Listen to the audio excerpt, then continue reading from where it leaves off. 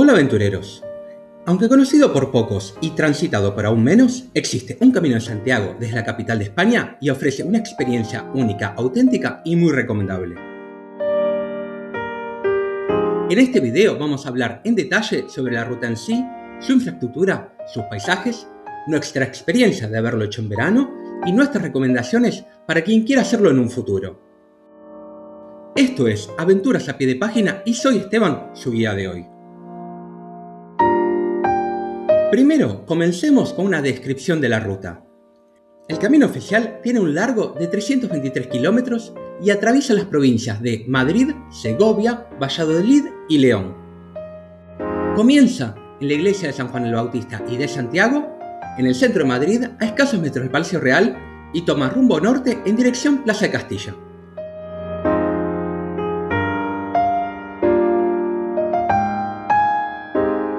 Cabe decir que este primer tramo de 6 kilómetros no se encuentra señalizado, pudiéndose ver tan solo un monolito con flecha. De hecho, la gran mayoría de los madrileños elige directamente comenzar en Plaza de Castilla a partir de donde se encuentra bien señalizado. De hecho, excepto por este primer tramo, se encuentra excelentemente señalizado en su totalidad.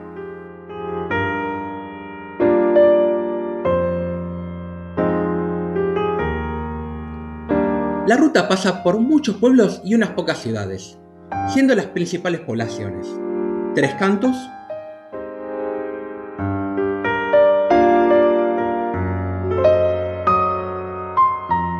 Colmenar Viejo,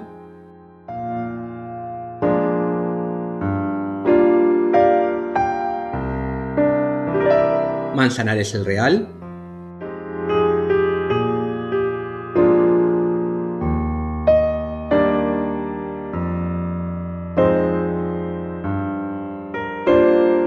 Cerrada.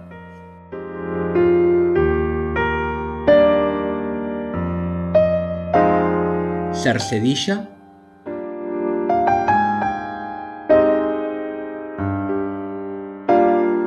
Segovia.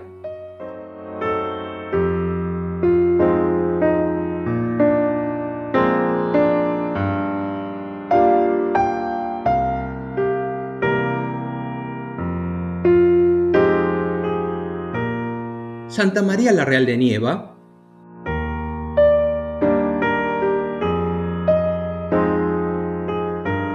Nava de la Asunción,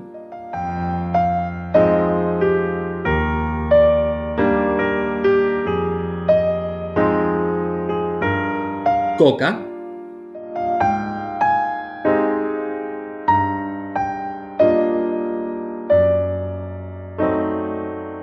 Alcazarén,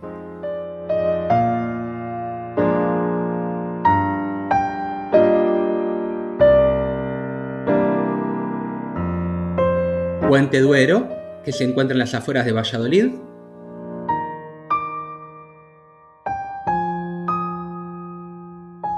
Simancas.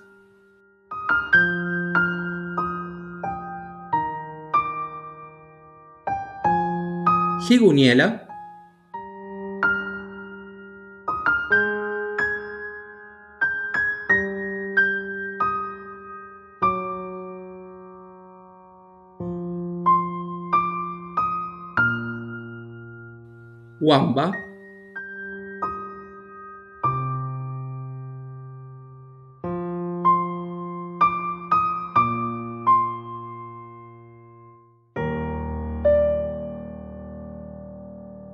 Peñaflor de la Hornija,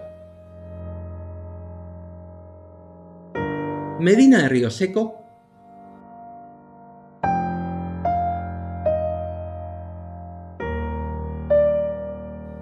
Cuenca de Campos,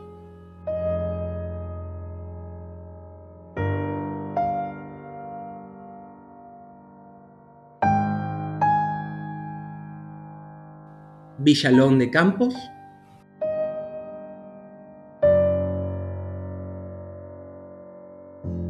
Santervás de Campos,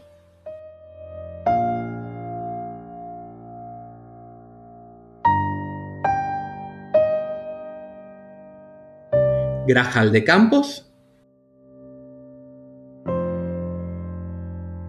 y termina finalmente en Sagún, frente a su famosísimo arco donde se une al camino francés. La dificultad de este camino está más relacionada a la falta de servicios en la gran mayoría de las poblaciones por donde pasa y a la falta de sombra de varias secciones donde destacamos el tramo final hasta Segovia de 12 kilómetros de largo que hacerlo en verano puede ser una verdadera tortura.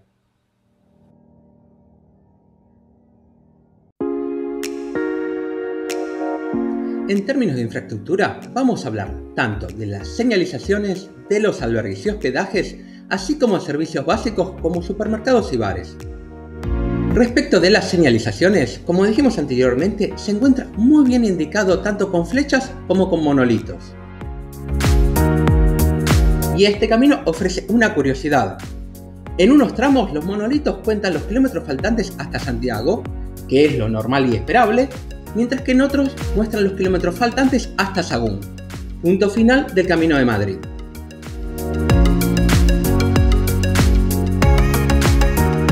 Respecto a los hospedajes, el Camino de Madrid cuenta con suficientes albergues de peregrino como para casi no necesitar alojamientos privados. Además, muchos de los albergues de peregrinos son de acogida tradicional, con hospitaleros voluntarios y a donativo, y casi todos los albergues cuentan con cocina completamente equipada y de uso libre, además de mantas. Los albergues que visitamos eran todos bastante nuevos y cómodos. Cabe aclarar que nos resultaron cómodos quizás porque estuvimos solos en casi todos los albergues. Habría que ver si seguirían siendo cómodos si estuvieran a capacidad. El trato que recibimos de los hospitaleros fue excepcional en todos los casos. Existe un albergue en particular, el de Santervás de Campos, que tiene una acogida tan buena que compite en la categoría de mejor albergue de todos los caminos junto con el de Arres, en el camino aragonés. Puede ser que hagamos un video al respecto. En sitios donde no existían albergues de acogida tradicional, existían otros de tipo municipal, no siempre exclusivo para peregrinos y con costo fijo. De estos albergues queremos hablar de dos. El primero por ser excepcionalmente bueno, que es el albergue de Samarramala, en las afueras de Segovia, y no solo porque es muy nuevo y muy cómodo, sino también porque está atendido por funcionarios que se comportan como verdaderos hospitaleros, lo cual es una anomalía.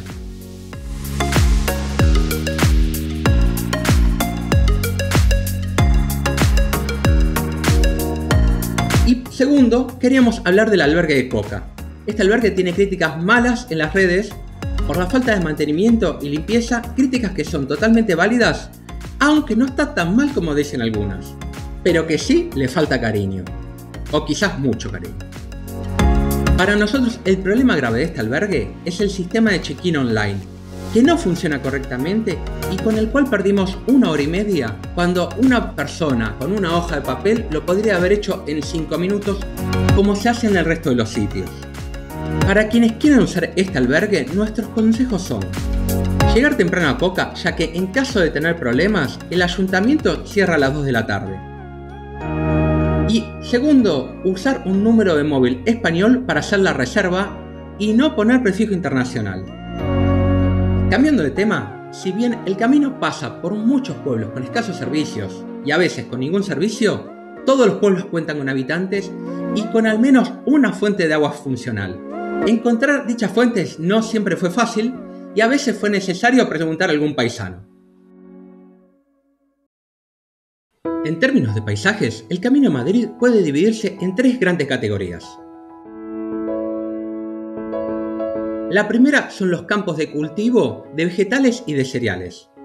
Estas partes se asemejan a la meseta del Camino francés, a la cual nos uniremos en Sagún siendo la gran diferencia los molinos de viento para generación de energía eléctrica.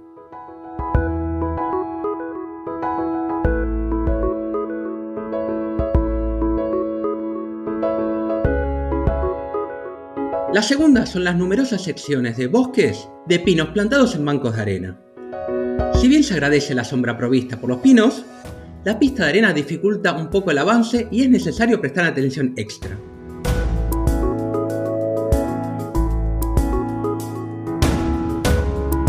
Y la tercera son los pocos tramos de sierra y de montaña, que son a nuestro parecer los más bonitos, pero los menos abundantes. destacando la etapa y media entre Manzanares el Real hasta Segovia. La vista más espectacular del camino, a nuestro parecer, es la postal de Segovia viniendo del albergue de Sharma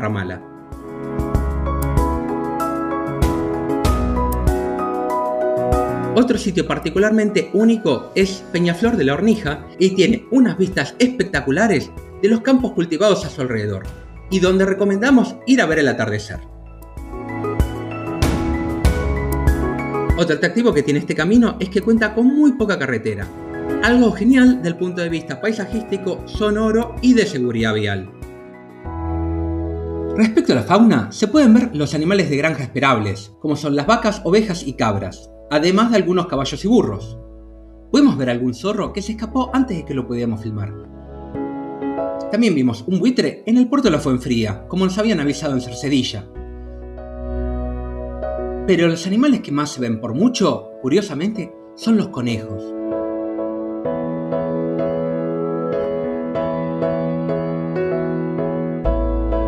hay muchos pero muchos conejos.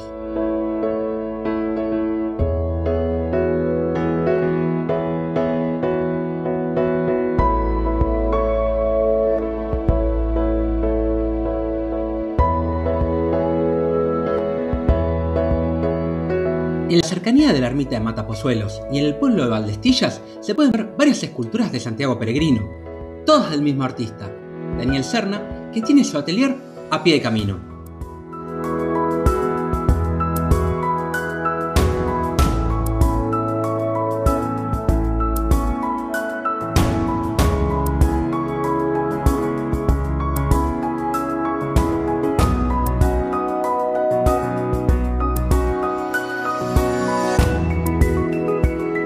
De hecho, lo pudimos conocer en persona y nos invitó a que viéramos sus otras obras.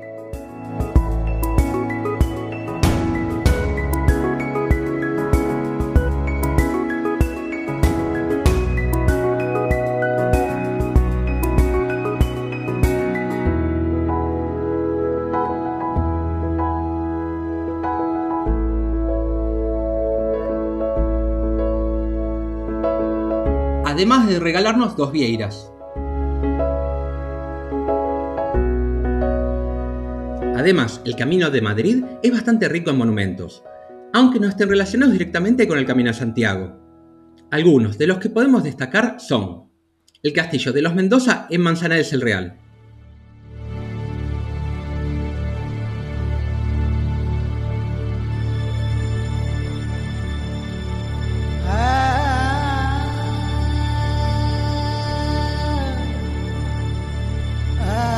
Segovia con su casco histórico y sus restos romanos y medievales.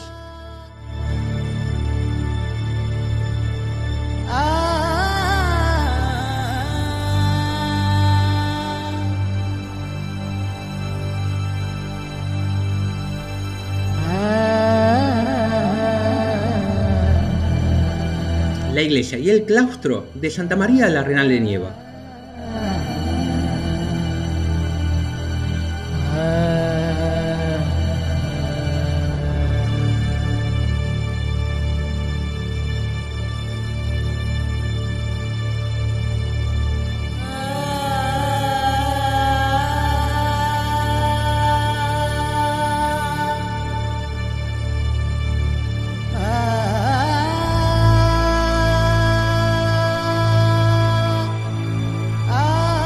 Coca con su castillo, su torre campanario, sus murallas defensivas y sus ruinas romanas.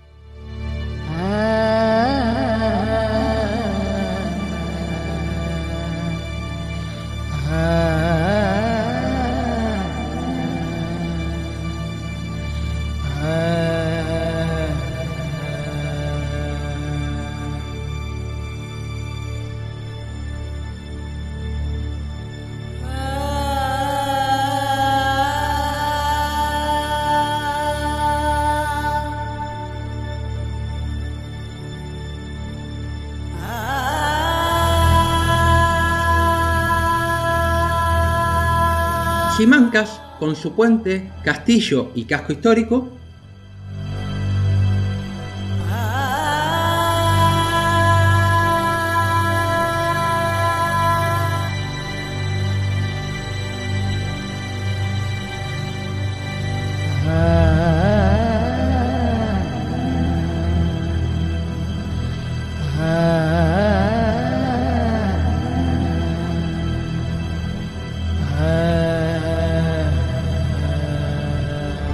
Atahualpa con su peculiar iglesia y su osario, el más importante de España.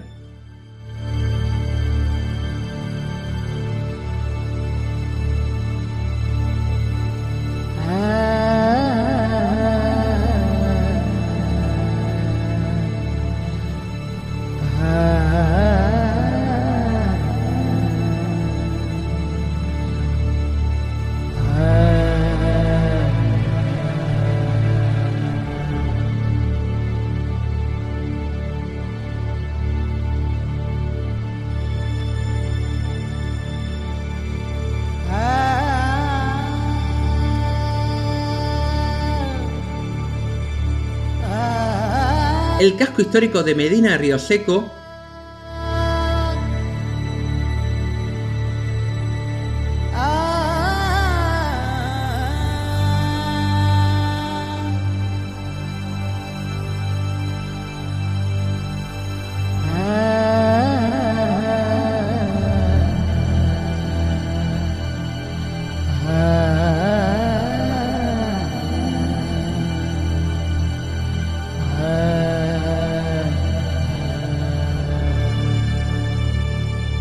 su terminal del Canal de Castilla,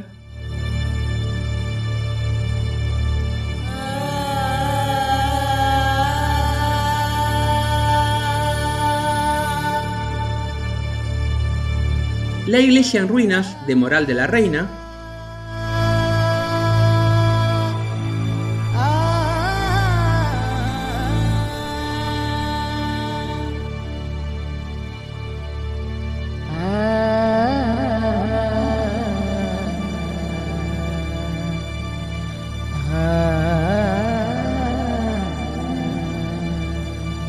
palomares de Cuenca de Campos,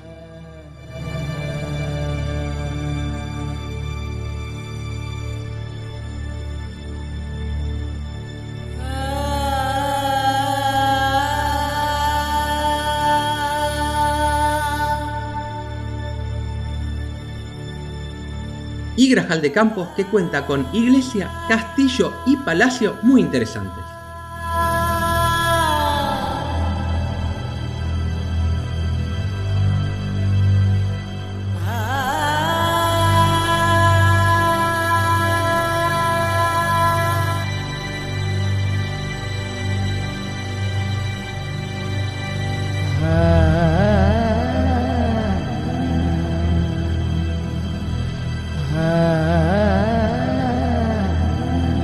Pasa también por Puente Duero, a escasos kilómetros de Valladolid, al cual se puede llegar muy fácilmente con un autobús urbano. Algunos de estos sitios son tan ricos en monumentos que probablemente hagamos algún video específico dedicado a explorarlo en detalle. Como es común en todos los caminos de Santiago por España, la gran mayoría de las iglesias se encuentran cerradas al público, salvo que haya misa.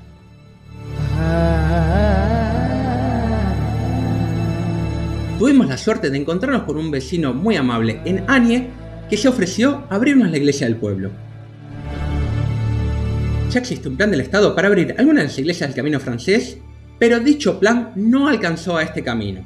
No obstante, sí existe otro proyecto llamado Monumentos Vivos que permite hacer el check-in online y visitar por cuenta propia muchos monumentos. El Camino de Madrid solo cuenta con dos monumentos bajo este régimen, una iglesia en Villalón de Campos y otra en Cuenca de Campos. Cabe decir que si bien el registro es online y no hay persona mediante, las visitas solo se pueden hacer en un horario limitado y bajo reserva de horario previa. Quisimos acceder a la iglesia de Cuenca de Campos a las 9 y 10 de la noche, aunque todavía era de día, para descubrir que solo se podía acceder hasta las 9. Ahora bien, lo que hace único y auténtico al Camino de Madrid es la parte humana, tanto por la ausencia de peregrinos como en la relación con la población local. El Camino de Madrid es tan poco transitado que los habitantes de los pueblos miran a los peregrinos como una bocanada de aire fresco, y es lo más normal del mundo que se te detengan a hablar. Es más, el comportamiento esperado es saludar a cada persona con la que te cruces, incluyendo cada agricultor que está trabajando en el campo y con su tractor. Esta humanidad en el trato interpersonal causa un fuertísimo contraste al entrar al camino francés, donde la gente es más distante y reacia hacia los peregrinos actitud claramente entendible dado los volúmenes de gente.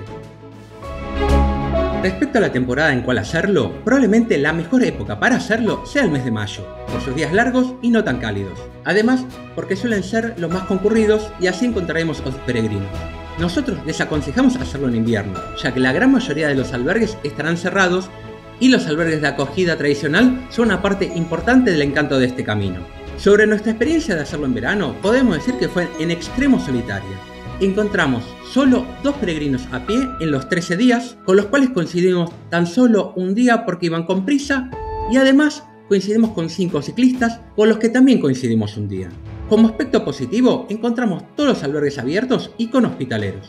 Y para acabar el video, tenemos una serie de recomendaciones para aquellos que quieran hacerlo.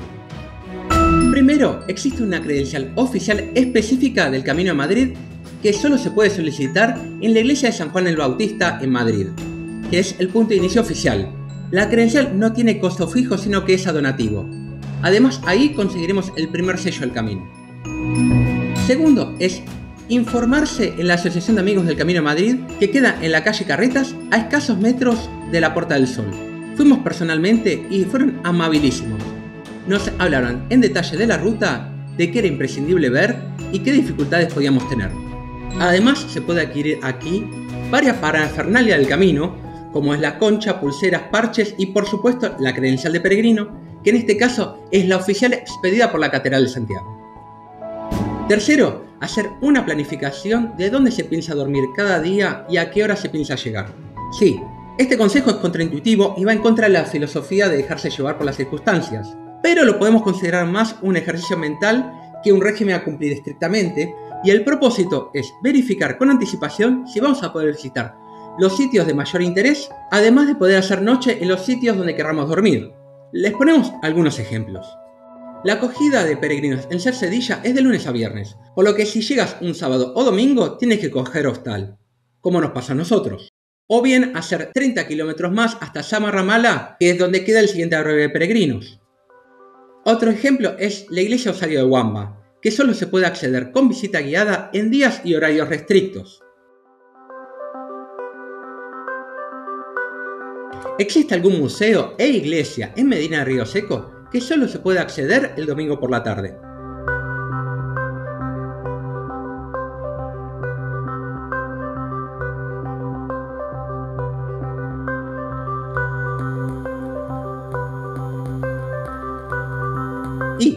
Los monumentos de Grajal de Campos son visitables solamente de miércoles a domingo, siendo los miércoles el día gratis al público. Y así,